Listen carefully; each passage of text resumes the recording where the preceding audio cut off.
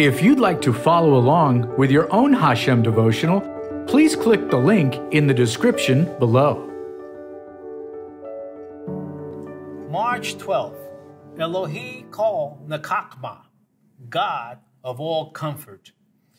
Praise be to the God and Father of our Lord Jesus Christ, the Father of compassion and the God of all comfort, who comforts us in all our troubles. 2 Corinthians 1 3 and 4. Apostle Paul wrote this message in 2 Corinthians to the church in Corinth and the believers in Achaia as an encouragement to those who were going through similar trials and persecution. He spoke from the experience of his troubles in Asia.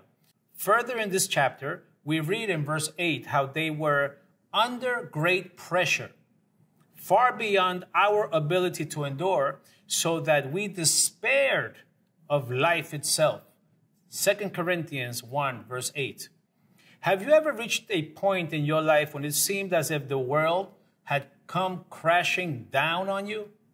The pressure and the stress of your circumstances were so great that you felt as if it was beyond your strength, that the weight of what you were facing was so great that you didn't feel as if you could endure.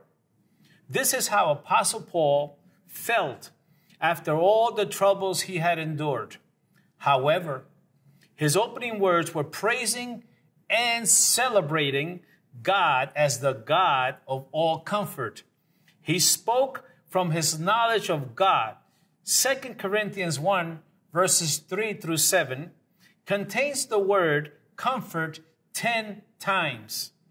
The word comfort means to call to one side, to console, encourage, and strengthen. Do you need comfort today? Call on the God of all comfort. The God we serve is a loving, merciful Father through whom Christ comes to our aid to comfort, encourage, and strengthen us. While loved ones and friends can come alongside you in your time of trouble or tragedy to encourage and strengthen you, Christ is the source of all comfort. He will comfort you in all your troubles. The word all in the Greek is a strong word, meaning every kind, every variety. God's comfort is unique, inexhaustible. Remember, your troubles are only temporary. God's comfort is everlasting. 2 Thessalonians 2, verse 16. Make this declaration of faith Lord, you are the God of all comfort. In all my afflictions, trials, and troubles I face, you come to my aid to comfort, console, encourage, and strengthen me.